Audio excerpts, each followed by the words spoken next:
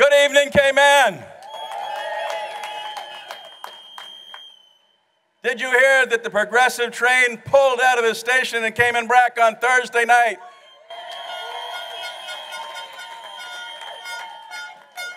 With hundreds and hundreds and hundreds of people looking at it as it pulled out and jumping on. And tonight, what a great pleasure to see this massive crowd here for the second stop of the train. Thank you all for coming out tonight.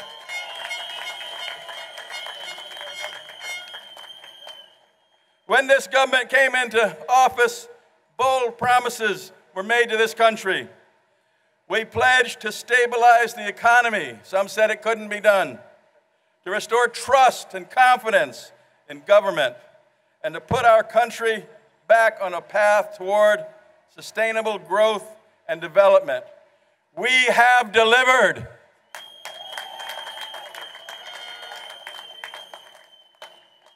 By holding true to those commitments, confidence in political leadership has been restored. The path to economic prosperity has been redefined, and we have returned our Cayman Islands to a destination that is attractive to both visitors and, most importantly, the Caymanian people themselves.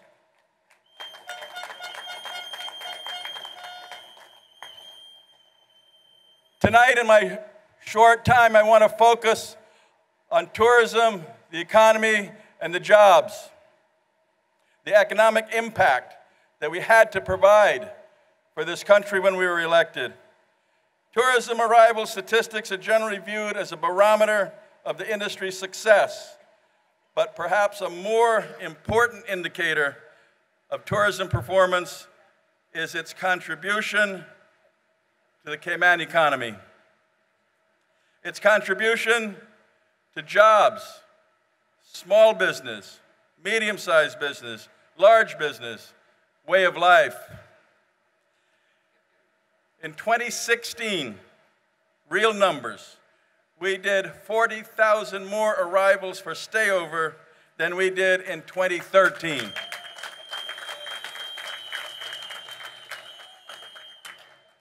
In 2016, we had 341,000 more people arrive here by cruise ship than we did in 2013.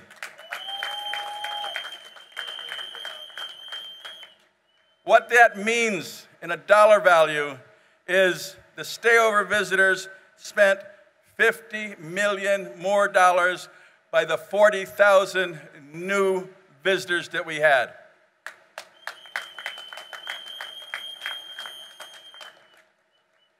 The new 341,000 cruise passengers spent $40 million more in 2016 than they did in 2013. What do you think would have happened? The taxis, the tour operators, and the small businesses that depend on tourism as an industry and a way of life if we hadn't grown this industry in those two years.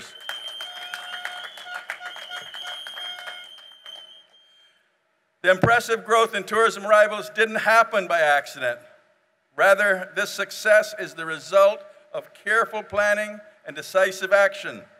It is due to the proactive efforts of the people you see sitting right here, the people that were in government and had to make decisions, had to take our economy back, had to build it for our way of life, for our benefit and our opportunity. We had to create the environment for each of us to have the Caymanian dream, to have success in our homeland. I've said many times there are no magic formulas to drive visitation to the Cayman Islands. There are no one size fits all solutions that automatically bring growth. Rather, it takes a sound understanding the opportunities and challenges and the willingness to do something about it. This government has delivered.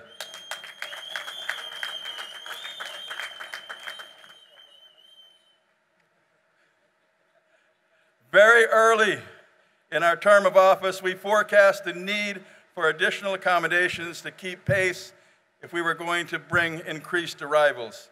We currently have 6,000 rooms that are available, 6,000 keys. In 2013, we had 5,400. We've grown that by 10%. But the strategy in growing room stock is to diversify your product and to look at how you could include the shoulder season and level it out. Conferences, sporting events, weddings, culinary, nature, cultural, and medical tourism are all in the forefront of how we're attracting people here and building our industry.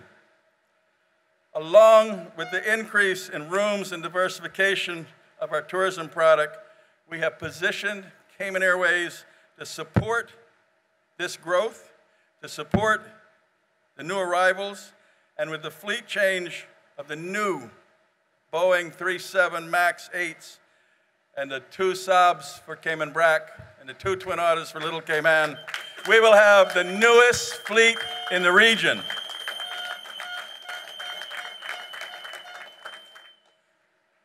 But before I leave the subject of Cayman Airways, I want you to realize that 95% of the employees at Cayman Airways are Caymanian.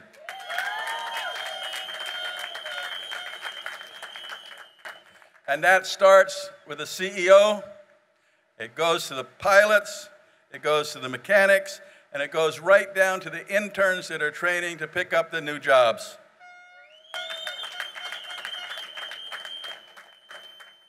These are the industries that we have to build and keep for ourselves.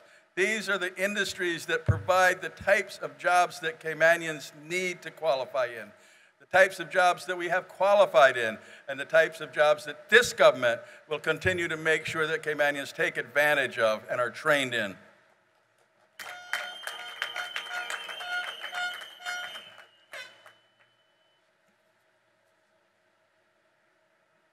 How many of you have driven close to the airport lately? Have you seen the new airport being built out there? 15 years people talked about building that airport, but it took the premier and this government to do it because we get things done.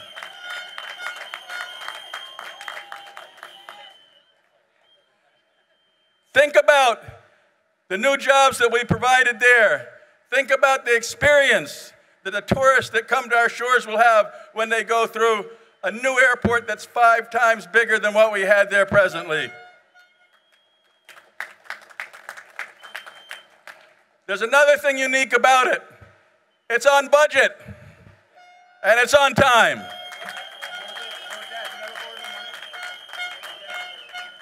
And we never borrowed one penny to build it.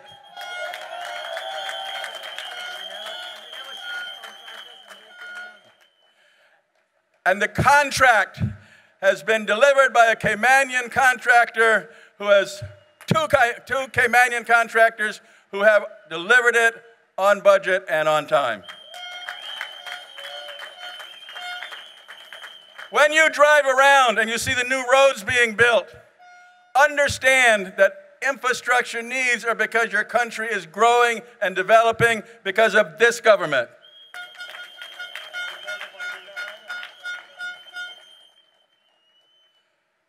How do we make sure that we, the Caymanians, benefit from the new growth, the new businesses that we bring to our shores?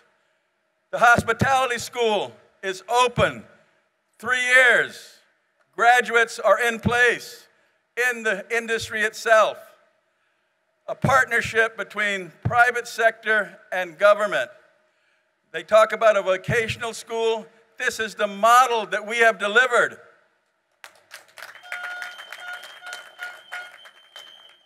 And the statistics show 50% of the students go into the tourism industry and take the jobs and are working there happy. The other 50% are pursuing further education at university, here or abroad. This, my notes say, applause.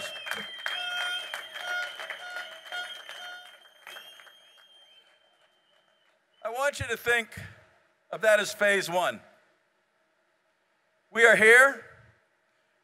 We are able to deliver phase two because we knew that we had to put a platform in place for us to continue the growth of our great country, our great three islands.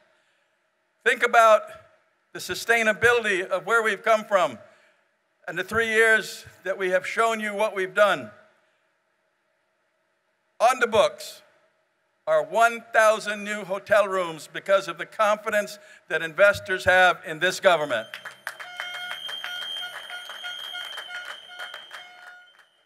Those will be delivered over the next four years. Along with the construction jobs, along with the hospitality school that is enlarged and made bigger to make sure that the Caymanians can be provided the skill sets they need to take advantage of the rooms and the opportunities that are coming. Cayman Airways will have the ability to open new routes, to look at new and expanding core market, to bring a diversified clientele. Southwest comes in June. Southwest Airlines is the largest provider of flights in the United States, which is our core market. Immediately, we see the growth potential there and what is ahead of us. I say these things to you to give you comfort and to understand that when you're looking at opportunity and looking at the next four years and what our phase two and what we have planned and what we need to get continuity in and get back after it after the 24th, it gives you great comfort to know and understand that more things are coming down and it is sustainable for all of us.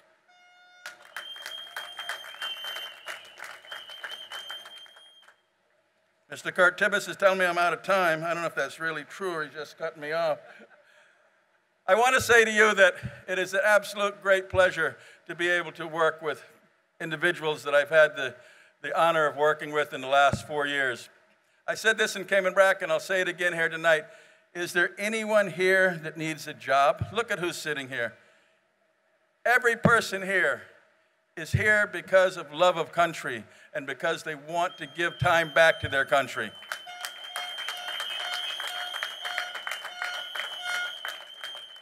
So when you leave here tonight, remember this May 24th, vote straight, vote progressive. Thank you.